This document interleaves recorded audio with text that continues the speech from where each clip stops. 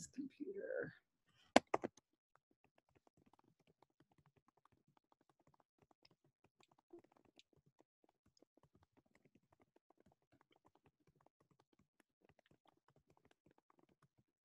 There we go.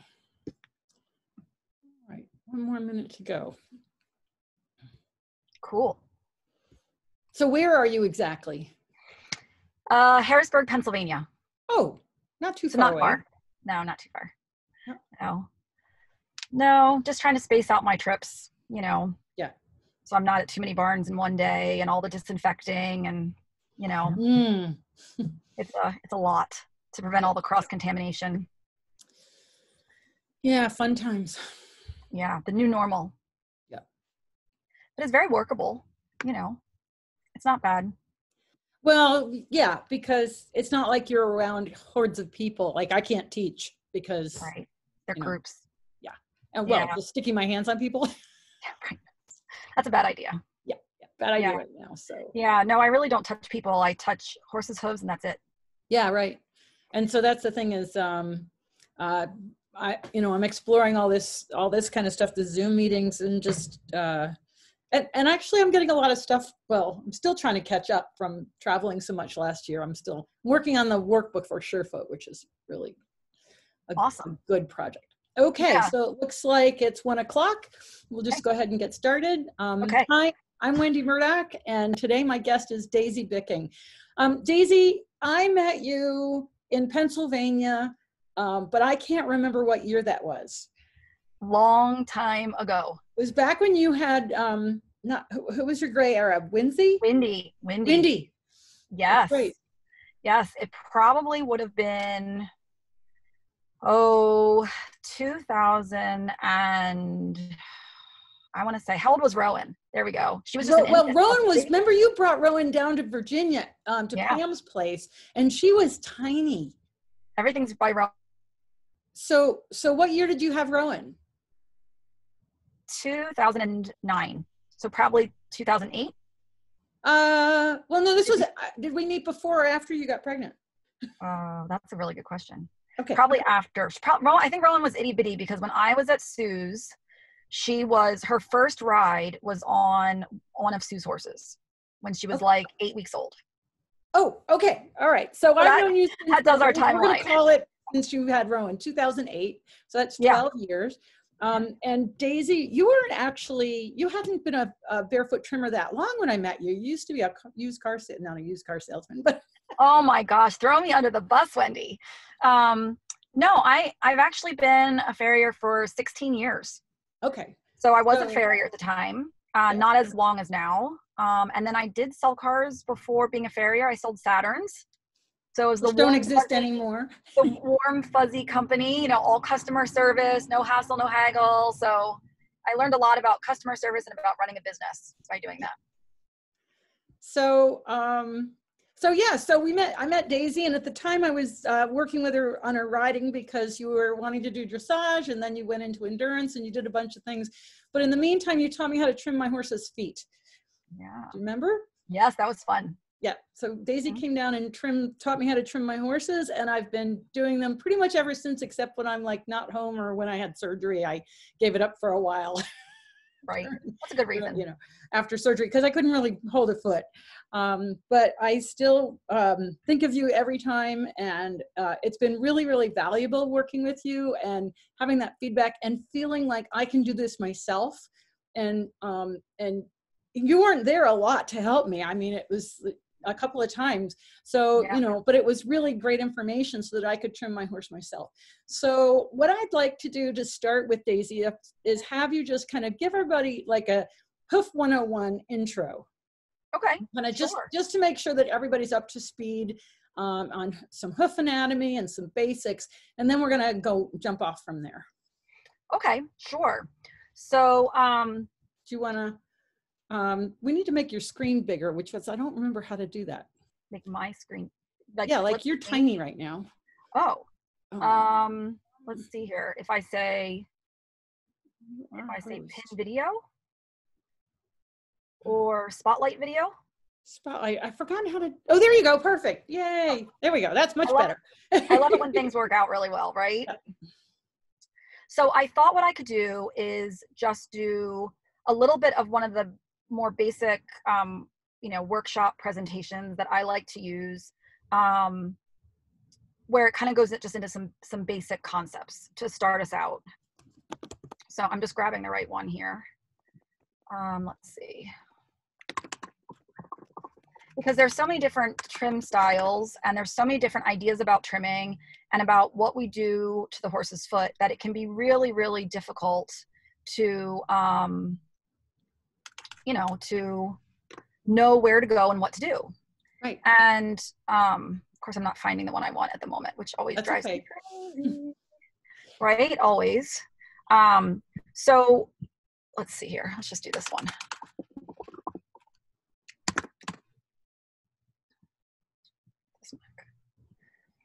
I changed my mind on which one I wanted to use, Wendy. Sorry. That's fine. It's no problem. Well, thank you. I appreciate that. Yeah. Um, so yeah, so you know, what is what is this year? 2020. There we go. You got it.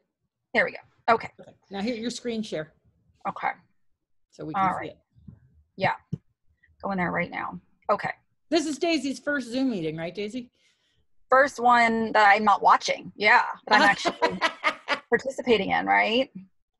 Okay. So, can you all see that? Yep. Okay, and then we go to, got that in the wrong place. Let's go play. There we go. Okay. So, you know, all these different trim styles, sometimes it's really hard to know exactly what's right and what's wrong and what's good and what's bad. So for me, I tend to skip thinking in those terms and just think about what's functional for the horse and how can I keep everything as healthy as possible. And really, that gets into some biomechanics because we all have different things we like about different styles of feet. You know, some people like a bigger roll, some people like to to leave flare dishing. Some when you like talk about a roll or a flare, tell us what you're talking about. so that would be like the bevel on the edge of the foot. There, you see on the black and white foot on the right is that big round. Like yep. I think you you can use your pointer too. Oh, I can. I I think so. pointer. I hit play. Give it a shot. No, I don't have a pointer. Okay. No worries. So um so yeah, so you know the the foot needs to make a solid connection to the ground for the horse. It's what the horse stands on to interact with gravity, right? It needs to hold the horse up. It needs to help the horse move. It needs to um, feel the ground, right? So it has nerves in it that help it feel where its feet are, like we do, right? We don't watch our feet when we walk, right? Right. We just we just walk.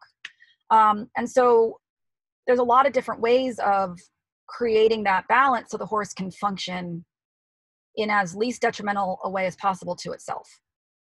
And because we trim the feet, we have ultimate control over how that balance is affecting the whole horse, which is Wendy, where you and I really come together.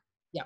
In our thought processes, you know, how how the farrier works on the feet is going to impact everything else that you're trying to do with your riding and the horse's health and balance and really overall overall lifespan. So, you know, we can look at all sorts of these options. There's so many options, especially when we come to therapeutic cases. So it gets really overwhelming. So, you know, to me, sorry, this is all my workshop stuff. So to me, we we need to have some basic understanding of balance from a hoof care provider perspective, but from a basic, you know, trim anatomy perspective, this these feet are very dynamic and very complicated. So you know, this is this is a a model of a foot, and it's been um, freeze dried.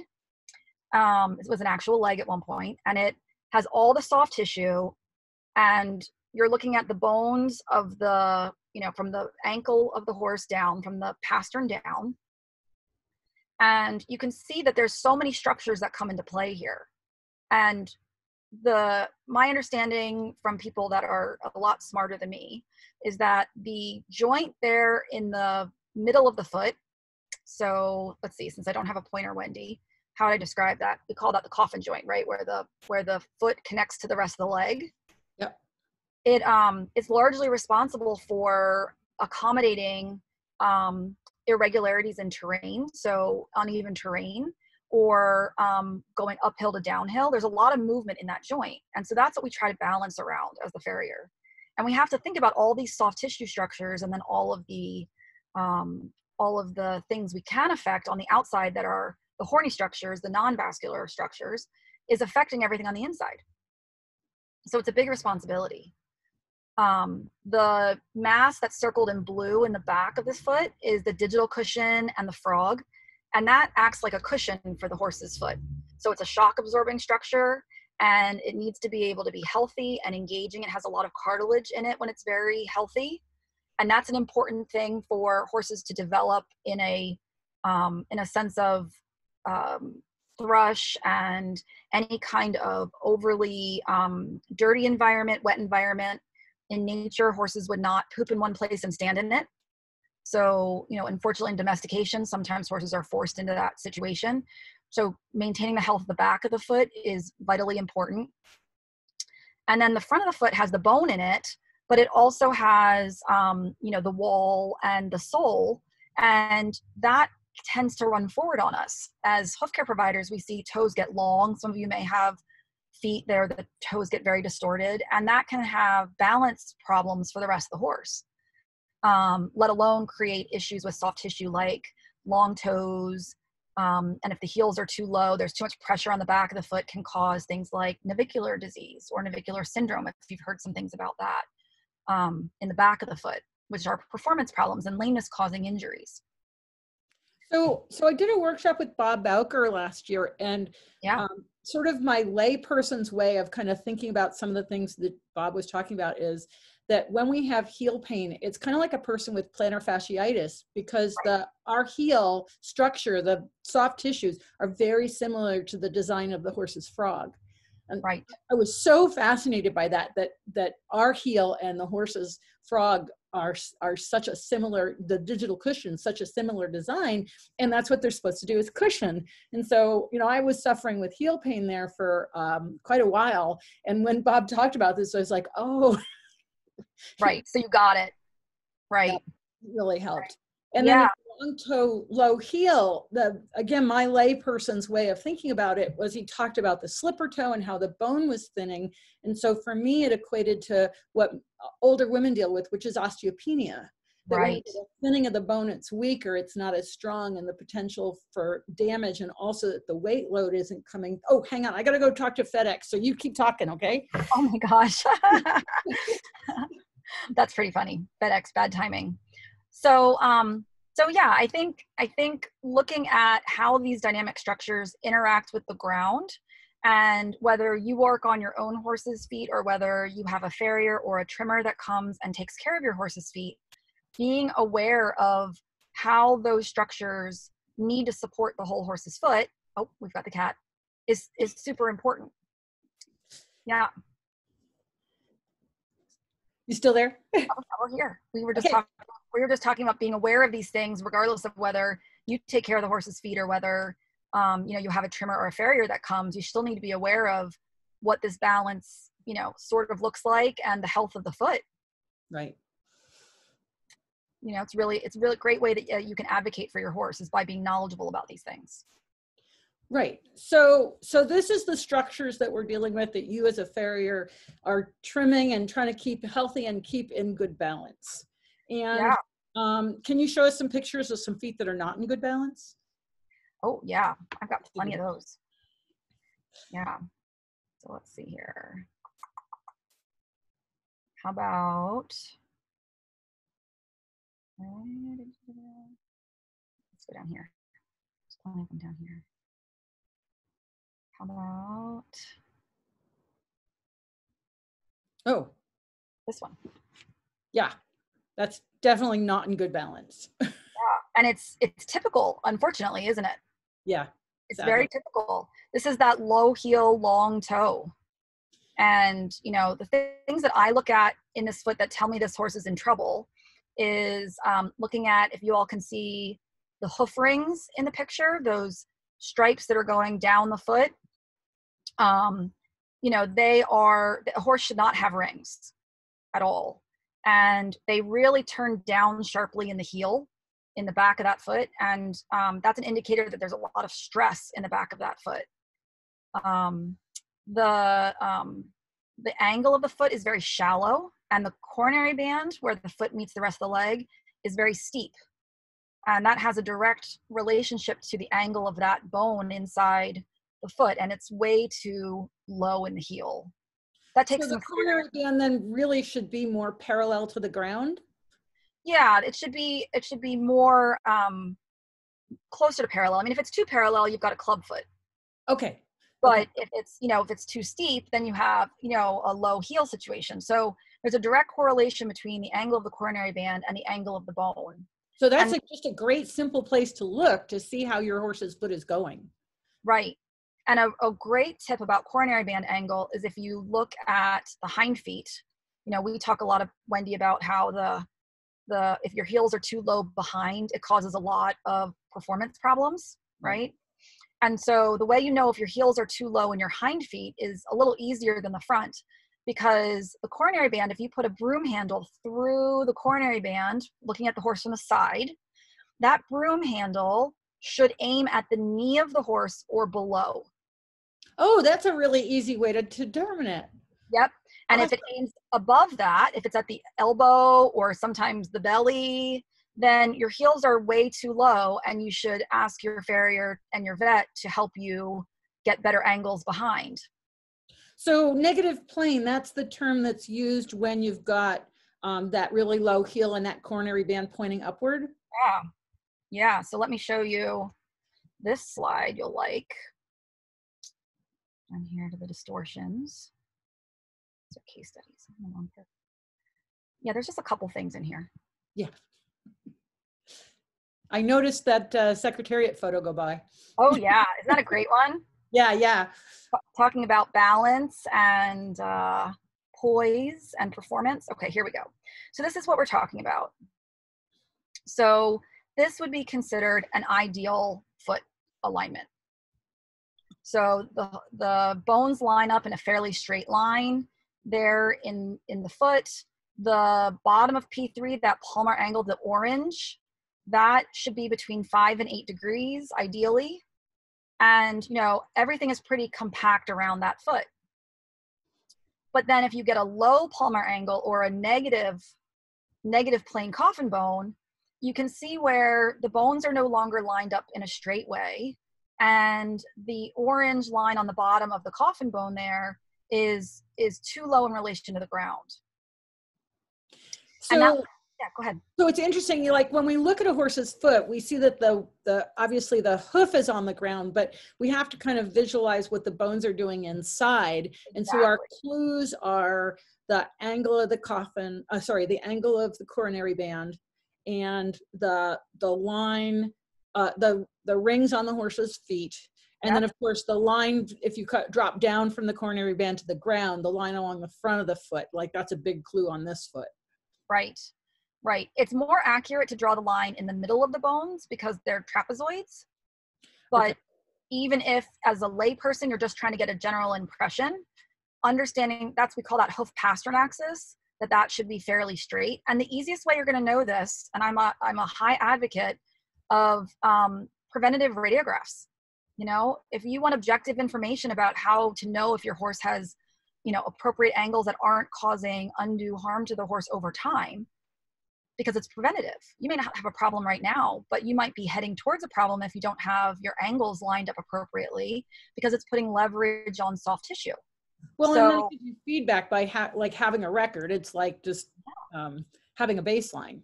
Yeah, and then it's you're not going to your farrier and saying, "Hey, I think." You know, I watched this webinar with Daisy and Wendy, and they said, you know, which the farrier always loves, right? Yeah. So you know instead you're saying i just want to check in on my horse's feet and have a conversation about where where they are now and where we're going and what we can do to help them have the best feet possible and you know i'm going to get some radiographs and i hope we can have a powwow about that and most farriers are very willing with more information to you know be proactive to help you and your horse Great. so then it's not your opinion then it's Great. objective information which helps Okay, so we've looked at the coronary band, the rings on the foot, and then just the sort of relative line off the toe. But what when we what happens when we pick up and look at the bottom of the foot, like the picture you have on the right there? How, how what are we looking for when we're looking for a healthy, good foot when we pick up that foot? Yeah. So look at the difference between this foot where the frog is big and wide. It should be at least 50% as wide as it is long. Does that make sense? So the back of the frog there by the heel bulbs, if you took that length and laid it on the length of the frog towards the toe, it should at least be double, right? So like it should width be across the heel should be half the length, Length. of the foot from heel to toe. correct. And if it's not, that means it's too narrow, Oh, okay. Right? So then you have contracture, which means the back of your foot isn't as healthy as we'd like it to be. So what about some horses that uh, tend to have more of a conical foot, like your uh, Andalusians? Yeah, so even them, um, when you look at it, they really should still, they might be boxier and straighter in the quarters and be longer and narrower, but that frog sh- ratio should still work. Okay. And then, so we've got the, the width of the back of the foot and then the length of the frog relative to the overall foot. Yep. So, you know, I like to look at things based on the center of the foot, which um, for a layperson, it would take some a little bit of studying to find.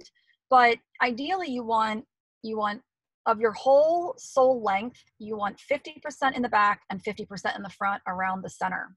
Do you have So- a, a picture that has that drawn on it? Heck yes. What? Um, sorry, I'm talking to my cat. It's totally okay. Yeah. What do you want? So this is the idea. This is a very distorted foot, but it'll give you an idea that what we're looking at is the the center of rotation of that entire foot is the pink circle with the pink plus sign in the radiograph. And that's the center. So you want 50% of your footprint, your sole, in front of that and 50% behind. And so what this diagram is showing is that you've got 80% of your sole in front of that center and only 20% behind. So this is a horse that has a lot of toe leverage. Now he has some other problems too, but you can correlate that directly to the picture of the sole below it, and you can actually look at how the back of the foot and the back of the frog with the center, that's where the center is on the sole, and then that's where the end of his foot is. So, and I've even drawn a line for where the bone is because we can actually locate the bone in the sole as well. So you can, with a little bit of studying, you can find all those landmarks. But ideally, you want you want that balanced ratio front to back, and that's not most horses. Most horses are not trimmed or shod that way, so it's a good thing to look at. So somebody's asked, how do you find the center? Yeah, so there are five different ways to find the center. That's a really good question. And we call that hoof mapping or sole mapping. And here it is. Well, and I've got some some que- oh, that's a great illustration because. I've got some questions here. Okay. So, and I'm happy to share this with anybody who'd like a copy. Um, however, we can get that to everybody. Um, something I have freely out on the internet, and I'm happy to share it on how to do this sole mapping. So we can Um, probably put that when I post it. We can um, list a link on how to do that. Perfect. I love it. Thank you. So, this is the steps starting at the bottom with number one and going around number two, number three. We're going counterclockwise um, on how to map the foot so you know where everything is. The center, if you look at number three, there are five different ways to find the center of rotation. And um, you can look at the widest part of the foot on the outside there where the maroon line is on the on the quarters on the outsides like this. You can look at where that is. So you would look at the arc of the foot on the outside and where you draw a straight line this way. The last point on the arc that your straight line touches is where the widest part would be. So you can find those two points on either side. You can look at the end of the white line of the bar and the and the bar we call them bar swells it's a bump that is on the um, the coffin bone where the bars stop and it actually has a connection point there on the bone and you can actually feel that on the outside of the foot and they're very reliable bar swells are very reliable takes a little bit of practice to find them but once you found them you can find them on every foot it's not hard Cool. um, And then you can look at something that's very technical called the frog boob. That's actually what Dr. Bowker talks about, where it's the, the mass of the frog that supports the navicular bone. And um, it's like a, a rounder area in the middle of the frog, and you can find that. And then on an average size foot, we do do one measurement, which is one inch back from the true frog apex, but that's the one I like the least because the frog apex can run forward on you and then that misleads your eye. So, you know, there's Daisy can't, unfortunately, she can't use her mouse pointer because it's in a PowerPoint. Um, because somebody's asked, can you use your pointer? Um, I can, I can do it this way. Hang on. Watch it. Let's see if I can do this. Okay, can you see that? yeah. Okay, so now I can Oh, use my yeah, mouse. yeah, awesome. Yeah. Yeah, and if I get rid of this, let's see, watch this. Do, do, do, yay! Okay. So now I can use my mouse, thank you. Yep. So this is the, the yellow is the frog boob. That's the yellow. The, um, this maroon line, this is, would be where I've drawn the center. The bars are here. And that would be the end of the bars. The bar swells are here. And I have a picture of the bar swells. You wanna see what bar swells look like? Yes. That is up you here. term to me bar swells. Yeah. Also frog boob. Frog boob. I know, it's very technical. Um, the bar swells are up here. So these are the bar swells. So this is the bottom of the coffin bone Wait, where's your pointer here? Over here, Oh, upper Okay. right corner. got it. Oh, Yep. got it. Yep, so see bar swells in pink.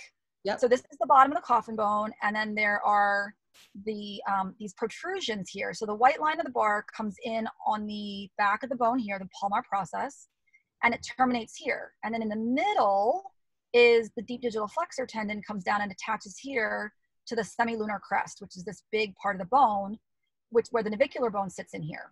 And the deep digital flexor tendon goes over the navicular bone and attaches to the bottom of the coffin bone. So we're looking at the bottom of the coffin bone here, right? Yes, correct. Okay. And so um, those bar swells are are these bumps that are these protrusions. I'll move my line so you can see it. Let's see here. See it right there? Oh, yeah, yeah, yeah. Okay, so I've drawn them, but they actually exist. It's an it's an anatomical reference attachment point on every bone. And so you can actually find them. And what's neat about them is that when you um, look at where this is, those bar swells are going to be right under that center of rotation if you're looking at the side of this bone. Wow. So it's right under the center. So bar swells are probably your most reliable landmark. Um, and you want to feel them by taking your thumbs. If you're looking at your horse's sole, take your thumbs in the grooves on either side of the frog, the collateral grooves, and start at the back and just run your thumbs forward. And you're going to feel at the base of the collateral groove, the bottom, you're going to feel a bump. And when you hit that, that's your bar swell. Wow. How cool is that? Yeah. I love it. see. Makes my Uh, job easier because I can know where my anatomy is. So, so we have a couple of questions about trimming, but I think what we're going to do um, is trimming and gets into kind of technical stuff that for today we're just kind of doing some landmarks and we want to look at some pictures of sh- horses standing on surefoot pads.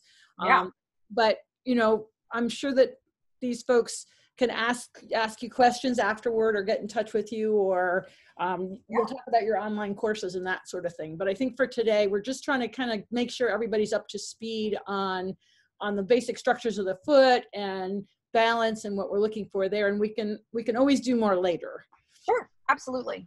okay so can you go back to that other diagram you had where we you talked Yeah. about the bar swells Yeah, the mapping. Yep. Yeah, right here. Yep.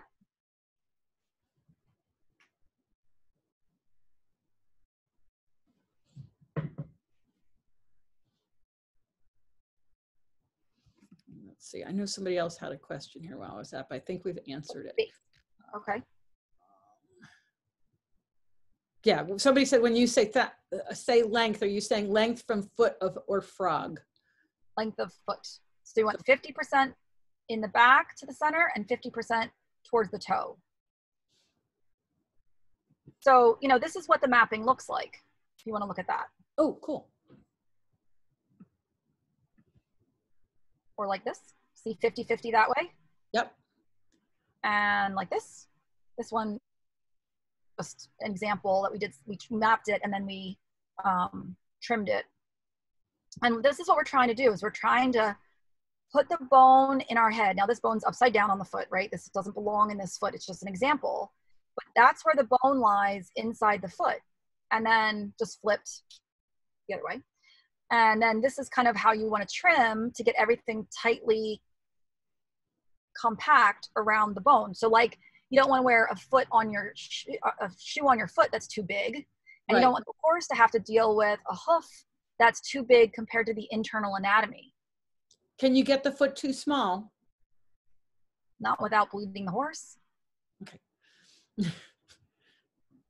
no, personally, I believe that you know if we're looking at leverage on soft tissue and the, and that joint, to me, the more we reduce the leverage, the less wear and tear and compensation the horse has over time.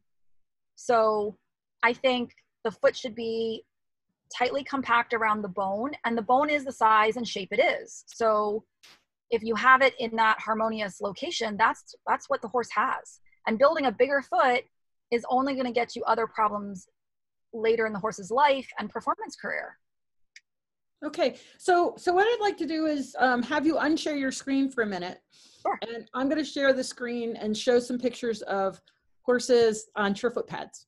Okay. Or or pictures of horses that have been on surefoot pads. Okay. Right. And so um, the beauty of the surefoot pad is that it can um, uh, leave the impression of how the horse is loading. And so we get to see sort of a picture that we wouldn't normally see because when a horse is in good footing, and this is the thing is um, you know, people spend thousands and thousands of dollars on good footing, but when they're in good footing, you don't see how the foot's actually landing on the hard surface. You, because it goes through the top cushion, and then you can't really see what's going on.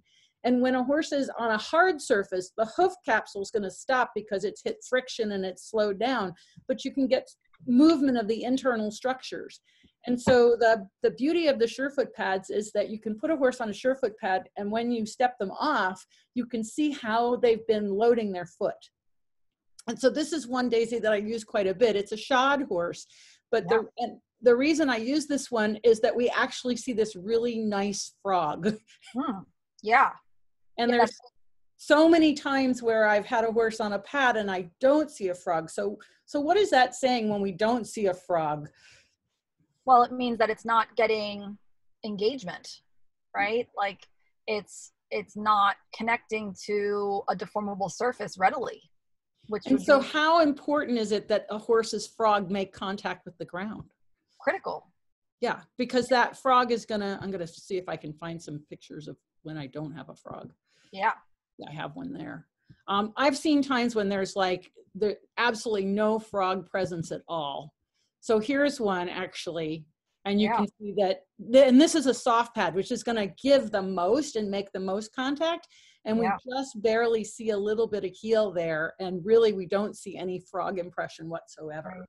Yeah, that to me would be way less than ideal. I mean, that frog and digital cushion is so integral into the shock and concussion absorbing system of the foot that when it atrophies, Dr. Bowker talks about how the fibrocartilage in the digital cushion atrophies when it's not engaged well.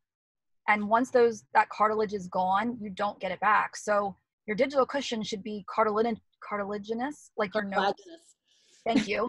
like your nose.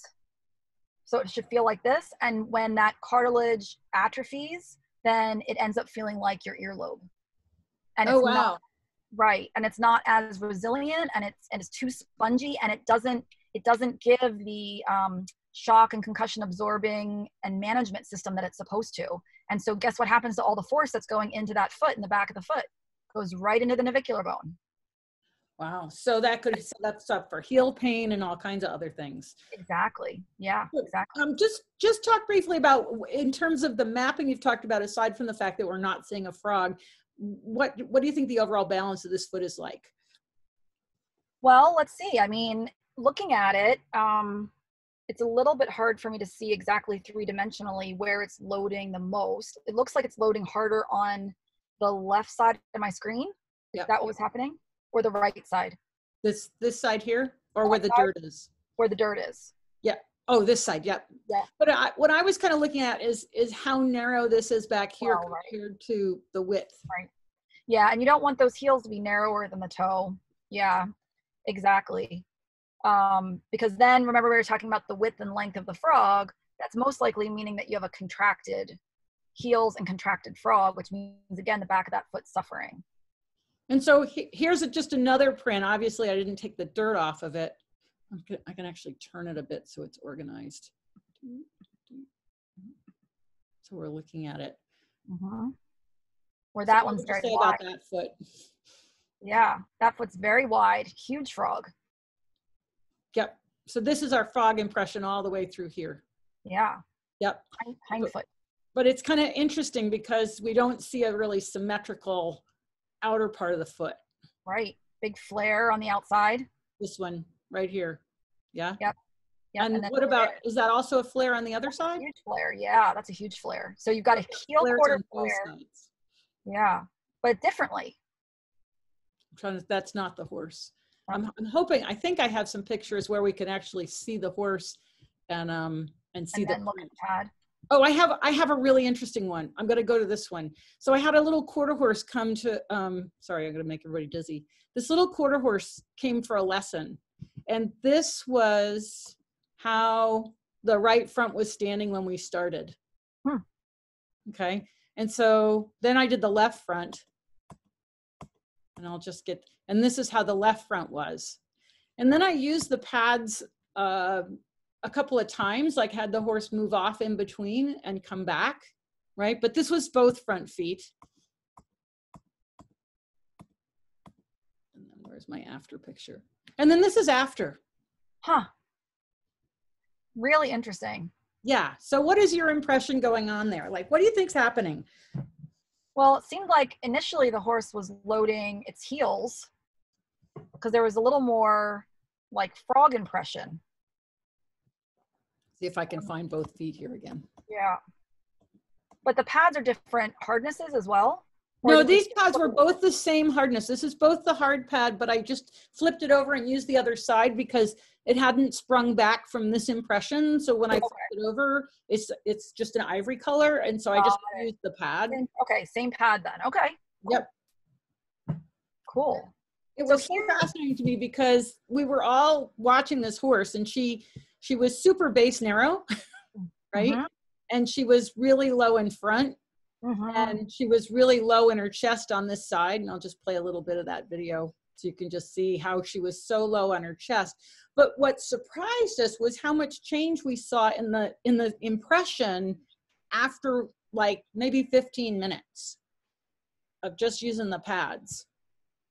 And that's when we got this impression. So this is just flipping the pad over and we see an entirely different foot. Totally different. and if i had shown you those two pictures would you have thought it was the same horse? No. So No. you've been using Surefoot for how long now? Since you first came out with it. So that's what? How many years now? Well, 2012 was when I first started. So yeah, been- so yes, that's right. you've been there since the beginning. Yeah. Um, Yeah. So tell us a little bit about your experience with Surefoot and how you've seen it help help you and help you with your work. Yeah, I mean, it's been fantastic for us. Um, we use them for two different purposes. The first way we use them is just very linear, and it's honestly to help the horses be more comfortable when they're standing if they're sore. Um, and so we have the individual pads, and then we also have the double pad, the farrier pad. The farrier pad, yep. Yep. And so we'll use them differently. So the farrier pad we'll put under both front feet or both hind feet if the horse is sore standing on one end, one side or the other, or under one foot or not. And that's just more about And we're not looking specifically about, you know, how the horse is loading. Although it's very interesting to see when we're talking about balance considerations this way. What we'll do the other way we use the pads is we'll put Share the my horse screen for a minute. There you go. Keep going. Okay. so the other way we'll use the pads is we'll put the pads under the horse's feet and let them stand there for 10 or 15 minutes and, you know, do something while they're ruminating. And then we look at how they loaded the pad as to checking our thought process on what we're doing with the hoof balance. So when I think to myself, I think this horse um, wants more heel and I want to leave him heel, I'll put him on the pads and see does he actually go to his toe in the pad? And if he goes to his toe, that's telling me that he's finding a place that is neutral for him at this moment in time where he wants to be a little more upright. And that might affect my trim and my shoeing balance that I that I do with that horse. Um, especially and so you use it before you actually start your trim. Yeah. Oh, cool. Oh, yeah. All the time. Um, it's tons of information. Horses that um, have medial lateral imbalance problems, we'll put them on the pads and see, you know, what do they create for themselves? Because if you think about it, the pad is exactly what we can do for the horse um, in our trim and our shoeing in terms of filling negative space.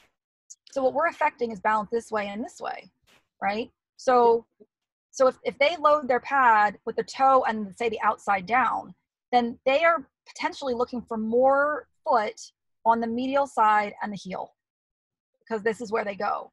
Now that can change, so you have to recheck it. So we might do a trim balance change and then put them back on the pads and see if they're more loading more neutrally on the pads.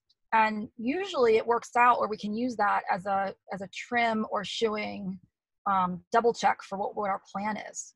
Give the horse a voice. So so you're actually do you use it like as you're trimming and then you put them back on the pad and see how the foot's changing? Yeah.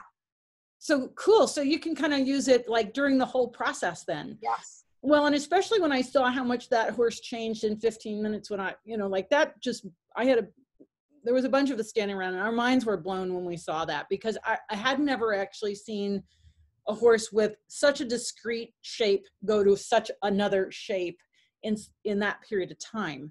Yeah. And so that really started to make me think about when you're trimming or shoeing that giving the horse that opportunity to normalize that foot on a pad that's going to give to the pressure is just a, a, great way to use the pads during the process of working. Yeah, and it actually gives us information about where to go. Right. And, I mean, horses stand on deformable footing and uneven surfaces all the time. So I know that if I make a change, it's not static for the horse. Like it doesn't just maintain that way. But so many of the horses I deal with are dealing with soft tissue injury or strain in their coffin joint um, you know, there's layers and layers of ligaments um, and tendons all around those joints in the distal limb in the bottom of the horse's leg. So, you know, we spend a lot of our time figuring out how can we trim and shoe them to reduce leverage, and the pads help me do that. That's really cool. So, what's the other way that you use them? Just uh, sorry for the general comfort. So, like, you know, this horse has to stand on one foot that's uncomfortable, and we'll put the pads, you know, under a foot different densities. You know, some horses like it softer or harder, especially my laminitic horses. You know, what do you use most with your laminitic horses? I get that question a lot. You know, it honestly depends because some of them like a firmer pad and some of them like a soft pad. Depends. It depends if the pain is in the laminae or in the wall or in the sole. Oh, okay. If the pain is in the sole, they don't like a soft pad. They want a hard pad. Okay. And That's if the pain really good information. And if the pain is in the wall, then they like a soft pad. Okay. Because this is a question that I get all the time is, and especially now that we're coming into the spring season, yeah. you know, um, horses are, are the, I mean, I don't know about you, but when I look out in my yard, the grass is so green all of a sudden. And so I'm already starting to get these questions about laminitic horses. And so, yes. so the, then if it's, if it's in the, say it again, if it's in the middle of the foot, if the pain is in, in the sole, yep. then they want a hard pad. Okay. Because what they don't want is they don't want the, the soft pad pressing up on the sole. Ah, okay. So they want something that's a little more firm. Got it. And then if the pain is in the wall, standing on something firm is going to load the wall more. So they like the soft so that they can share the load to the sole and the frog and the other structures. Wow, that's really important. Um, and then um, the other pad that I've used, like Joyce's horse had a little bout. She's always been a little, little um, IR, and yeah. so she started to have a little bit of laminitis. And she wanted the slants, the firm slants, and she wound up standing on firm slants for an hour a night. She wasn't yeah. swing, so we could leave her, right? But Good. she just stood on those slants. So have you used the slants much with your laminitic horses? I have, I have actually, and there are definitely some like um when they get, um, you know, there's a whole debate about the tendon involvement in laminitis. And what I do know is when horses have foot pain, and you know about this, Wendy, they they cringe, right? Like they just kind of like shorten everything and go into flexor withdrawal. So so when they're in that place, if we ask them to stand on on their feet like as they are barefoot, sometimes that's too much stretching out for them and they get uncomfortable, they get painful from that. So if you put them on the slant and you raise their heel up, it allows them to relax into a place that's not stretching the tendon muscle apparatus and the shoulders and the withers as much and you can keep them more comfortable and potentially prevent um, further damage to the laminae and laminitis Wow. Okay. Because that's a lot of times I'll recommend the slants for laminitic horses because I've seen that they really like it. Um, I have a number of vets that I know that they're um, they're a little afraid of the slants actually, but I Oh. think they work great. Yeah. Well, they're not familiar with it, right? So, um, oh, do I have a picture of Farrier Pad? Yes, I absolutely have a picture. Of, I found it. Um, actually, yeah. while you look for that can i make another comment about slants Go for it. so we love using the slants on hind feet Yes, I do that all the time. Tell me why you like using slants on hind feet. well right so most of our horses on the hinds yep there's the farrier pad Yep. i love it and it's big enough to have two feet on. So it's a little tricky sometimes getting both feet. Sometimes you put one foot forward then the other. Sometimes you step them onto it and sometimes you back them onto it. But once they start to figure it out, a lot of horses will just step right onto it. Yeah, yeah. So, um, so the slants on the hind feet with the wedge at the back, right? So, what it does, a lot of our horses are too low in the heel behind, like we talked about the coronary band angle being too steep. That's very common in our horses. So, what it does is it raises the heel angle for them, and they can bring their cannon bones and their legs further back in the hind, and they can stand much more comfortably to balance if you're working with their front feet, So you actually use the slants while you're working on the front feet. right? Cool. So this horse here is on a full physio pad in front with the, the uh, hard slants behind. The physio pad is an inch of hard and a half inch of medium. And then the hard is, uh, the slants are a three inch block cut on an angle. So you wind up with the, with the um, angled pad. And you can see where, you know, this horse here is very happy to stand on that full physio pad and with her slants behind. And she's doing a little bit of swaying, not a lot of swaying, but just a tiny bit if you watch her chest. So, um, so what recommendations do you have for people? You know, we are, I'm going to stop sharing for a second and just find some more pictures. You know, we're coming into spring, and of course, the the biggest issue right now is that we're stuck at home when we can't exercise our horses. Uh, not everybody can get to the barn, and you know, we've got uh, grass coming in. Yeah. What can you recommend to people? Anything? About exercise or about, Well, you know, I mean, some of them can get to the barn. I mean, the- everybody's in different lockdown situations and it's varying country to country. And so I suppose in some ways it's good if horses are not getting just randomly turned out on grass right now. Um, oh, because of like spring laminitis and things like that. exactly. Yeah. I mean, it, this is a really dangerous time of year for most of us um, when it's, you know, above, well, 40 degrees Fahrenheit during the day and below 40 degrees Fahrenheit at night. The grass is the highest in sugar and it's just coming out of hibernation from the winter. And so I think we need to be really careful about horses on turnout, um, especially any horse that has a risk of laminitis or has had laminitis in the past. So the sugar in the grass is lowest first thing in the morning until about 10 a.m. and, and overnight after about 10 p.m. Um, so you can try turnout early in the morning and then bring them in, limit the time, try grazing muzzles, um, and then just really watch your horse's body condition. You know, look for um, you don't want them to have any crest or fat pads on their shoulders or their hind end. Um, you don't want them to have a, a channel down the back or the fat pads above their eyes. All those are signs that your horse is obese or has is laying an unhealthy layer of fat down that would be related to potential um, metabolic problems. So if you see your horse is getting fat or is already fat, then I would say no grass until summer because it's just too high in sugar right now. So we've got a couple of questions Yeah. and um, like one of them is, have you noticed change over time with horses' feet using surefoot pads? Do you have any clients that are using it regularly that you know of? Yeah, yeah, absolutely. Um, what what we see is that the horse the horses find their center much more easily. And the wear and tear in their body is much less which means that their feet are going to grow in a less distorted manner. So the clients that use Surefoot pads regularly i see that their feet feet stay more um, ideal less distorted. The horses stand more square and don't have abnormal posture nearly as much as the ones that don't use Surefoot pads.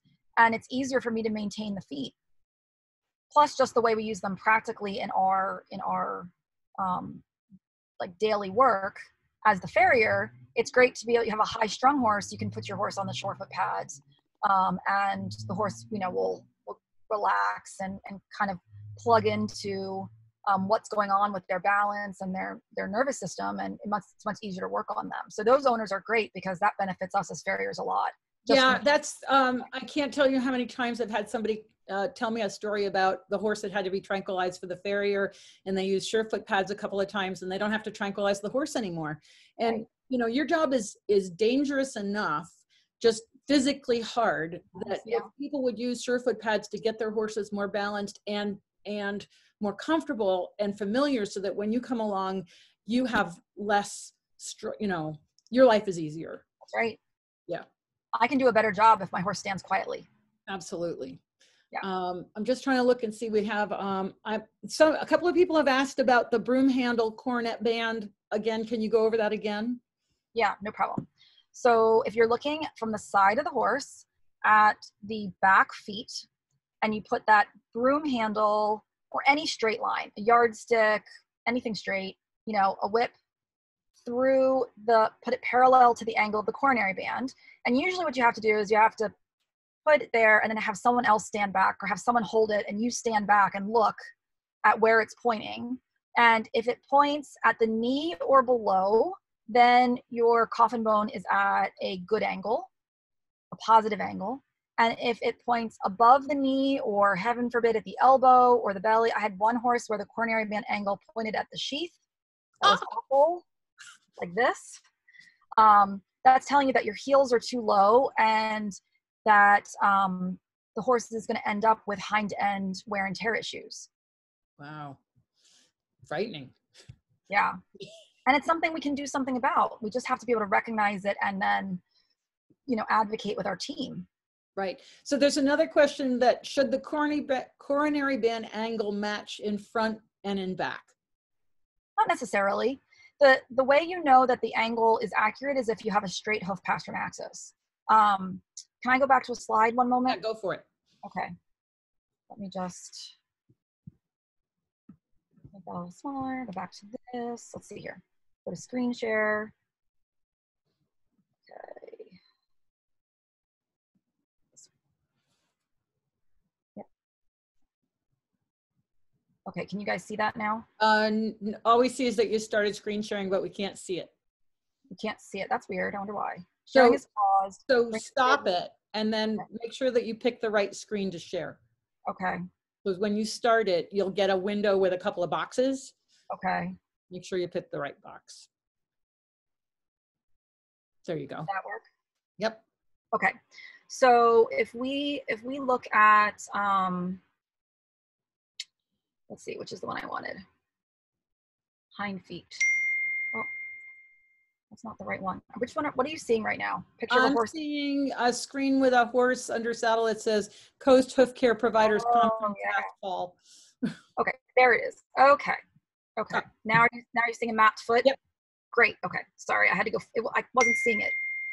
Okay. Um, so if you look at a horse standing from the side, if you look at this horse, see where this where these this coronary band is aiming. Yeah. Right it's going it's going like to the knee, right? So that one's that one's sort of okay. Except for how he's at, standing in front. Well, yeah, he's not standing well, but his angles are okay. Now this is an awkward angle, but look where this angle's pointing. Look how much steeper that is. It's going all the way up here. Yep. And if we really got to the side of him, I bet you that this is actually aiming up more like at his elbow. Right. Um, where if you look here, look at this horse. Oh wow. Where that angle Oops. Did you just lose your audio? Daisy? Did we just lose Daisy? Daisy. Uh-oh. I'm gonna get back to the chat, Daisy.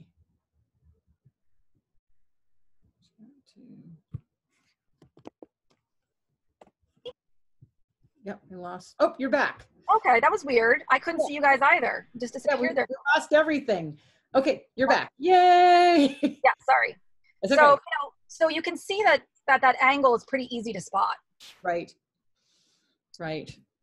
Very cool. All right. So, um, let's see. What's one last thing we want to talk about here? We have a, we just have a few minutes left.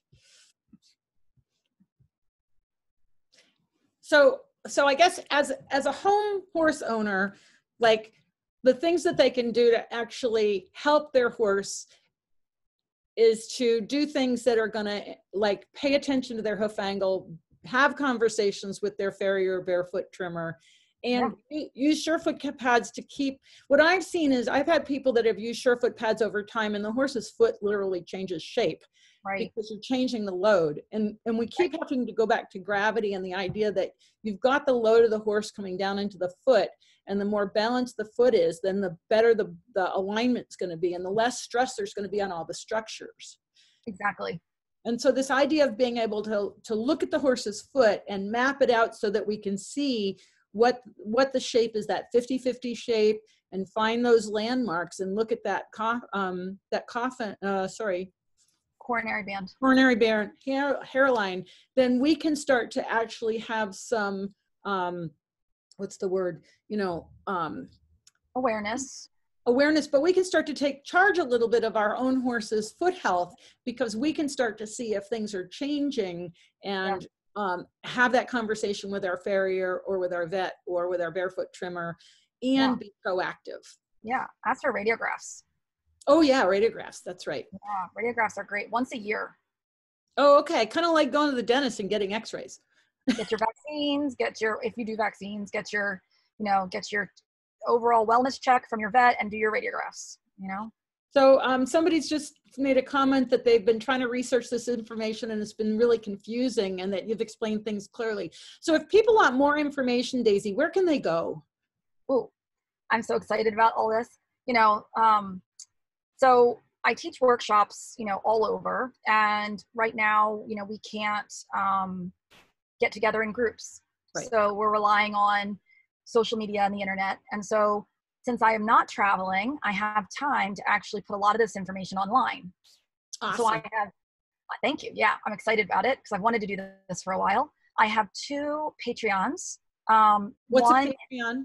Patreon is a blog that's a subscription blog where you pay a low monthly fee and you have access to um, posts and videos and, and content that I upload. Okay. And so one of them is um, my personal one under Daisy Bicking. And you would just go to Patreon, which is www.patreon, P-A-T-R-E-O-N dot com and search for me. And that one is on my personal work. It's a little more advanced level. It's on case studies and also how-to videos of the horses that I work on on a daily basis. And then the other one that I just started is um, for beginning trimming. Somebody wants you to slow down. Sorry. I'm excited. no. So, um, you can you put this information in your when you post the video too? Yeah, actually, I can put a lot of description into the video comments. So, um, so there's Patreon, and you have your your private one, and then you have one for Daisy Haven Farm, right? Right. So I'm putting them in the chat. How's that? Oh, perfect. Yeah. So you guys can have them. And um, the one that's for my school is for is the beginning is a beginning trimming course. It's 12 modules with lots of lessons in each module, and you can subscribe to um, one module at a time, as fast or as slow as you want. Go at your own pace, and I'm available to answer questions and for mentorships. And it's So just Daisy- information to have.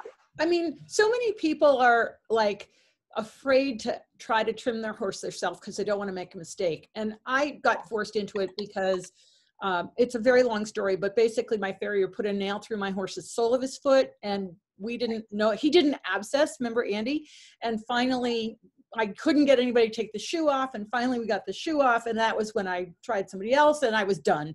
And so right. that's when we started doing it. And I, yeah. and you helped me. And so I was forced into it because uh, I couldn't deal with what was happening to my horse and I couldn't find anybody. But right. you know, I'm hoping that people realize that um, that there's a lot of information that you have available so people can start to learn how to do this themselves and yeah. you know i mean i started with my horse that was super sore and he had four different feet and i was you know always struggling to find to figure out what a good foot was. But i'm wondering if your online course is something that the average horse owner whose horse is barefoot could actually start to work with to figure out how to do this. That's the goal. The goal is that it's going to be a course that will take a new person to hoof care from start to finish on a maintenance trim on a fairly good footed horse. And if that's not what you have, I'm going to have tips and tricks for you on how to get appropriate help for those things as well. And you can still be empowered to take care of your horse's feet. You just might need a little bit more help and input to get you to a maintenance place. And are there resources where people can find trimmers that study with you in their area? Yeah, um, basically, I'd ask people to contact me directly, and I can tell them who in the area um, I can recommend. And how can they get in touch with you? Um, you can contact me through Facebook at okay. Daisy Alexis Bicking, um, or through my. Oops. Oops. Just disappeared. She just totally disappeared.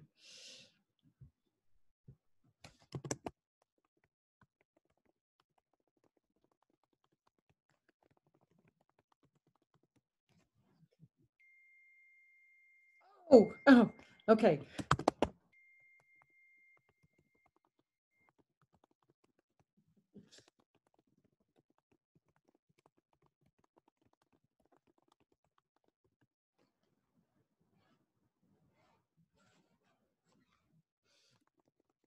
Oh, I can get back to my screen. Where am I? Two, two, two. Participants. Okay, so folks, I think I'm still out there. I just have to find me. Let's see. Get my screen up. There we go. Host. Thank you all for joining us. Uh, Daisy's computer died, so we'll just post the information of how you can get in touch with her. Um, I think it died while it was on her screen, so I'm not even sure how to get back to my screen.